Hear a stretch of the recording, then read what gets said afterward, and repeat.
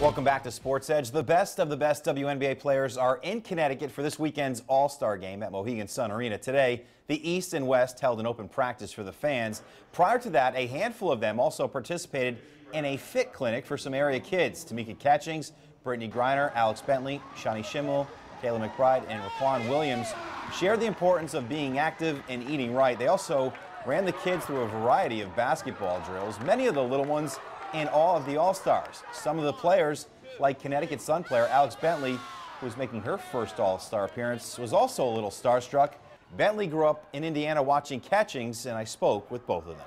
Uh, it's a pleasure to be joined by 10-time All-Star Tamika Catchings and 13 All-Star games. You've been in 10 of them. Don't you get bored after a while?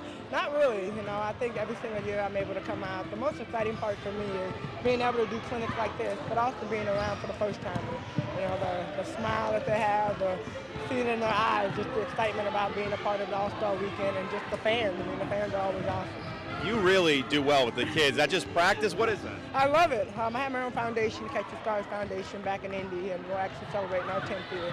So we do a lot of fitness clinics. We do basketball camps. We give out uh, backpacks for school. We have a scholar athlete dinner where we give out scholarships for student athletes going to college. So I love working with kids. I'm really passionate about the work I do in the community. And so being a part of events like this is just always a good time.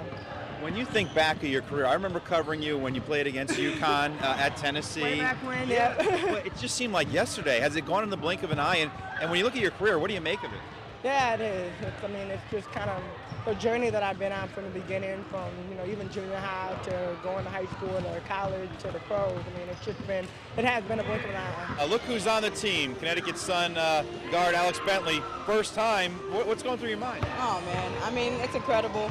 First day, messing with all these kids. I love the fit clinic. Um, I'm just happy right now and honored to be a part of the WNBA All-Star team. You kind of had an idea, I think, you're going to be an All-Star, right? But when you got word, what, what went through your mind? You know, I think the biggest thing for me was my parents, uh, just um, getting the love and the support. Good hands. Thanks. And the support from them, uh, it's, it's an incredible feeling. Um, playing in the WNBA, I've wanted to do it all my life, so being an All-Star means a lot to me. Uh, Tamika talked, I was just talking to Tamika real quick. Okay. She's a 10-time All-Star. I told her, I, I, saw her and I was like, congrats, what's this, like your 30th, your 30th All-Star appearance? Because, man, I've been watching Tamika Catchings um, since I was a kid.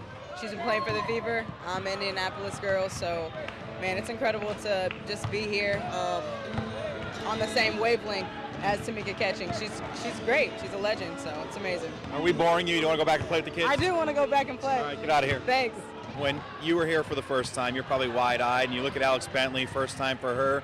Uh, what's your advice to the young players and, and, and taking the game to the next level? Because I know next year's going to be your last year. Yeah, I mean, just have fun, enjoy the process. And I know Alex, she started out with us with Fever mm-hmm. and was one of our video coordinators for a couple years back. And then, you know, to kind of see her grow at Penn State and then have the opportunity to get drafted and just the work that she's done in Atlanta and then getting up here with Connecticut. So for all of our first timers, I just say continue to have fun, especially on a weekend like this with all the other All-Stars and just being able to go out and showcase your talent. But even beyond that, just continue to grow the game, continue to get better. A lot of our players go overseas, but you know, just taking advantage of every opportunity.